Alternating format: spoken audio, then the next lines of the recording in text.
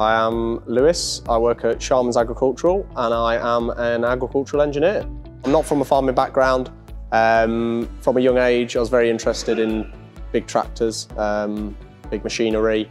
Uh, also like, you know, spanner work, fixing bits and bobs. Um, so I put the two and two together and uh, came into agricultural engineering. I am very much preferring the hands-on side of things. I never really liked the classroom work. Obviously with the apprenticeship, still have to go to college and do the theory side of things.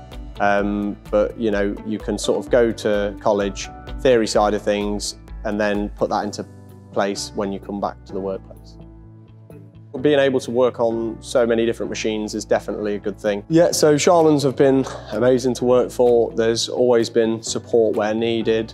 Um, you know, I've, I was put in a van uh, after a few years um, as we were low staffed and I needed, they needed me to go out servicing and bits like that.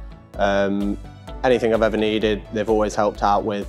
Um, and just, yeah, I'm, I'm, I wake up in the morning and I'm ready to come to work. It's a, a good company to work for.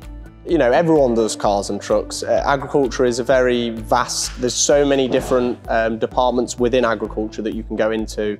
You know, you can do engineering, you could do sales, demo, um, go into farming. You know, there, there are so many aspects to uh, agriculture, and I, and I think, you know, come into the industry, give it a go, and who knows where it might take you.